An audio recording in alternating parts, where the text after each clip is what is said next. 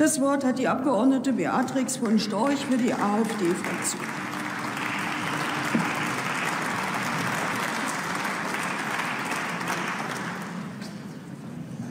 Meine sehr geehrten Damen und Herren, Frau Präsidentin, was war das für ein Theater gestern? Und dabei ist doch so klar, was passieren muss. Wir müssen die subsidiären, den Familiennachzug für die Subsidiären abschaffen. Wir müssen die Grenzen kontrollieren und wir müssen die ganzen illegalen Migranten an der Grenze zurückweisen. Denn aus Österreich muss niemand fliehen. In Österreich gibt es keine Verfolgung.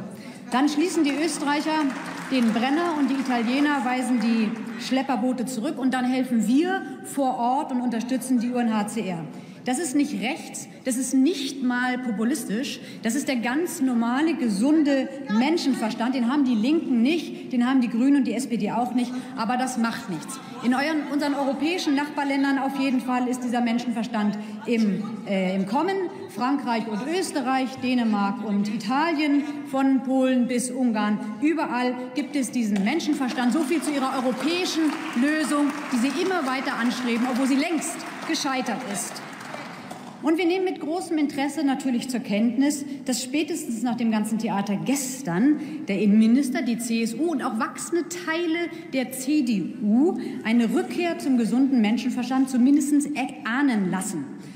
Als wir unseren Antrag zu Grenzkontrollen und zur Zurückweisung an der Grenze gestellt haben, da haben Sie noch alle dagegen gestimmt. Heute haben Sie nach dem ganzen Tag, gestern die Gelegenheit, diesen Fehler zu korrigieren. Ich möchte Ihnen zurufen, nur Mut, machen Sie mal den Rücken gerade. Das ist gar nicht so schwer, wie es aussieht. Aber es gibt offensichtlich ein großes Hindernis, obwohl so groß ist es gar nicht. Ich möchte sagen, ein laufender Meter 60, Angela Merkel. Nach dieser Woche ist es nun wirklich kein Geheimnis mehr, dass Frau Merkel mehr Rückhalt bei den Grünen hat als in ihrer Partei oder gar der CSU. Der Unterschied zwischen der AfD und der CSU-Fraktion scheint ja nur noch das zu sein, wir sagen, Merkel muss weg und sie denken, Merkel muss weg. Aber die Gedanken sind frei. Der Kanzlerin geht es offenbar nur noch darum, das Gesicht zu wahren, wenn irgendwann herauskommt, dass man Grenzen eben doch schließen kann. Und da schloss sie messerscharf, was nicht sein kann, das nicht sein darf. Mit der SPD hat sie natürlich den richtigen Partner. Wer als vormalige Volkspartei ernsthaft den Familiennachzug für Gefährder fordert, ist mit 9 Prozent Umfrageergebnisse in Sachsen überreichlich noch bedient. Der Antrag von Union und SPD ist der Versuch, es beiden Seiten recht zu machen, den Vernünftigen und den Verblendeten. Im Monat sollen nur 1000 Familiennachzüge erlaubt sein, so verkauft uns das die Union. Und ab den 1001. heißt das dann humanitärer Einzelfall, Erfolg der SPD. Und wir wissen, es kann auch eine Million Einzelfälle geben. Der Antrag der FDP ist typisch FDP, möchte ich sagen. Merkel hat recht, Seehofer hat aber auch recht. Wir brauchen eine europäische Lösung, aber später. Wir sichern die Grenzen, aber nur vorübergehend. Wir verteilen die Flüchtlinge in der EU und wir wollen Resettlement, auch wenn die EU-Staaten nicht mitmachen.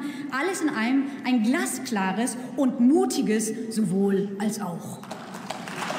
Und der Antrag der Linken ist Weltklasse. Einfach Weltklasse. Nach dem Parteitag hätten Sie den etwas kürzer fassen können. Drei Worte, alle dürfen rein. Und alle sieben Milliarden haben dann auch Anspruch auf Bleiberecht, ausdrücklich Staatsbürgerschaft und Sozialleistung.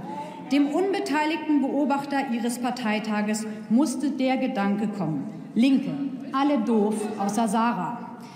Denn nur Frau Wagenknecht hat den Irrsinn abgelehnt und wurde dafür folgerichtig ausgebuht. Aber im Namen der AfD danke ich Ihnen ausdrücklich für Ihre Offenheit.